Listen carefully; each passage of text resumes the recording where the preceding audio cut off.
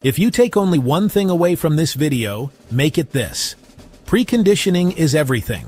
Preconditioning means warming the battery and the cabin while the car is still plugged in. Instead of pulling energy from the battery, the car uses power from the grid to get everything up to temperature. That first morning I tried this, the difference was shocking.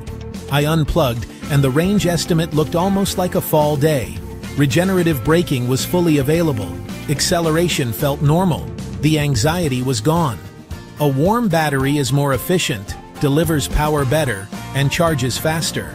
It also unlocks full regen, which is often restricted when the battery is cold. Most EVs make this easy.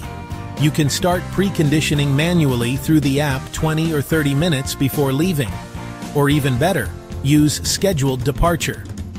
You tell the car when you plan to leave, and it handles the rest. This is not a luxury feature. It is a core winter survival tool for EV ownership.